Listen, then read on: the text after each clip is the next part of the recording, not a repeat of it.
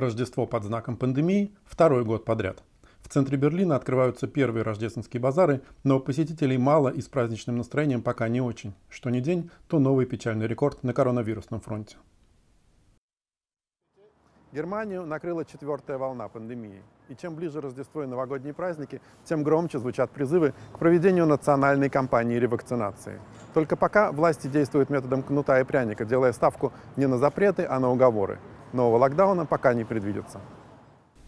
Год назад крупные рождественские рынки Берлина были закрыты. Их устроители понесли убытки в сотни миллионов.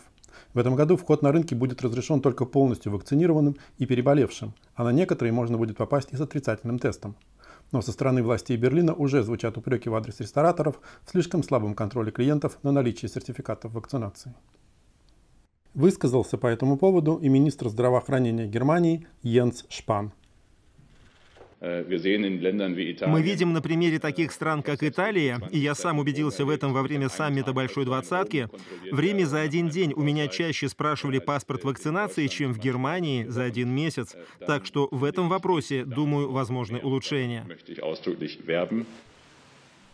И все же власти не спешат с новыми ограничениями. К тому же новое правительство не сформировано, а кабинет Меркель формально считается временно исполняющим обязанности, и от него вряд ли можно ждать решительных действий.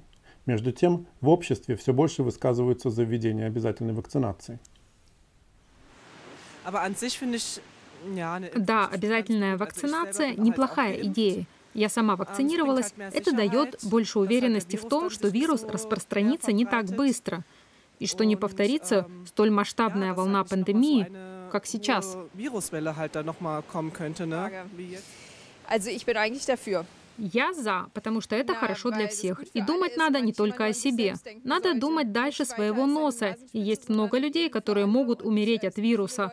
Пусть даже и не мы сами. Было бы лучше, если бы все вакцинировались. Туризм, рестораны и розничная торговля в столице Германии ждут декабря в надежде компенсировать прошлогодние потери. Чтобы избежать локдауна не только на праздники, но и впредь, сегодня днем министры здравоохранения федеральных земель объявили о том, что третья прививка, то есть ревакцинация, будет таки доступна всем.